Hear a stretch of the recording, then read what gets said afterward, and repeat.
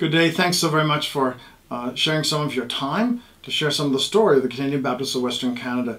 We have become a family since the very first years in 1869 when we did an inquiry trip into Western Canada, and in 1873, May of that year, Pioneer MacDonald held the first um, worship service in Western Canada, this family of churches.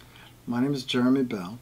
I'm the Executive Minister, Canadian Baptists of Western Canada, and share with you um, leaders, members, campers, camp leaders, um, all sorts of people that contribute to the work of this family of churches, a great love of the faithfulness of God. And that's what we come to celebrate today His faithfulness amongst us. That not only He has been faithful in the past, but in recounting that together, in praying together, in hoping and dreaming of the things that He might do amongst us, we have great anticipation that He will be powerfully present. So that happens in so many, many different ways. Our prayers for one another, our concern for one another, the ways in which we can share through Trinity Opportunity Fund, encouraging special and unusual ministries, the way we can celebrate God's faithfulness in celebration dinners, which we do once a year in most regions of the country. 199 people registered in Victoria.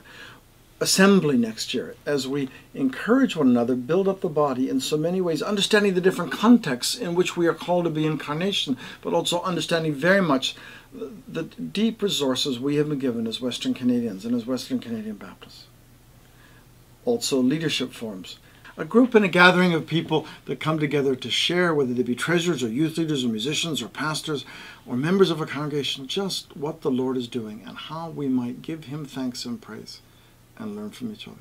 So, in many, many ways, we give thanks for the work of the Holy Spirit in this family of churches and celebrate it in this moment that you're viewing this. Thank you so very much for giving you your time to do so. And thank you so very much as with, with hopefulness I ask that you pray for our time and life together. Pray, and the Lord will lead us all as we pray into anything else and all the rest. God be with you. In the name of the Father, and the Son, and the Holy Spirit, God be with you this day. Thanks so much for your time. Bye bye.